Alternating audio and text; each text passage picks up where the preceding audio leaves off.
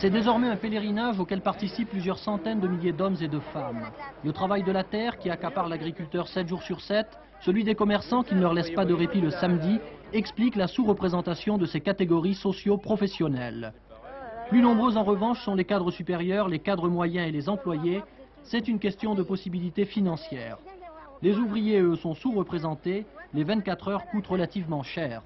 Mais le plus intéressant peut-être, c'est de se pencher sur les motivations profondes enfouies dans le subconscient de chacun. Pourquoi cette assistance? Pourquoi cet engouement?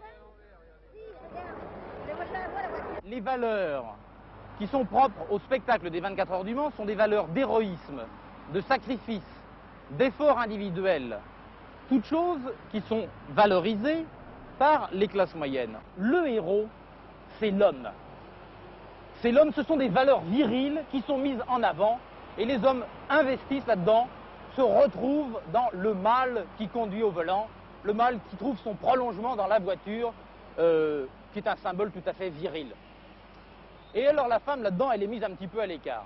Fort heureusement, cet état de choses commence à évoluer.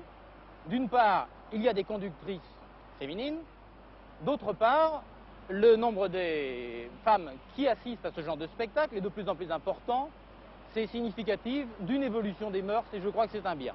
Mais il y a vraisemblablement d'autres aspects qu'il faudrait analyser.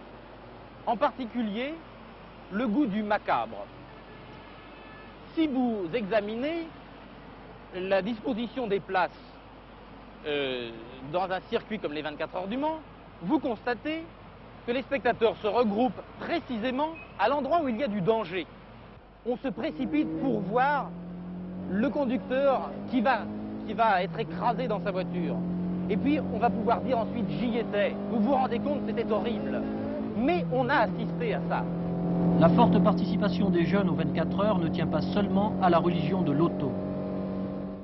En ce qui concerne les jeunes, eh bien, là on retrouve le grand aspect des fêtes populaires. On va s'évader du milieu familial, on va s'évader des contingences traditionnelles, on va vivre pendant 24 heures tout seul entre soi, entre gens qui s'intéressent à la même chose, qui communient au même spectacle, à la même mystique de la voiture.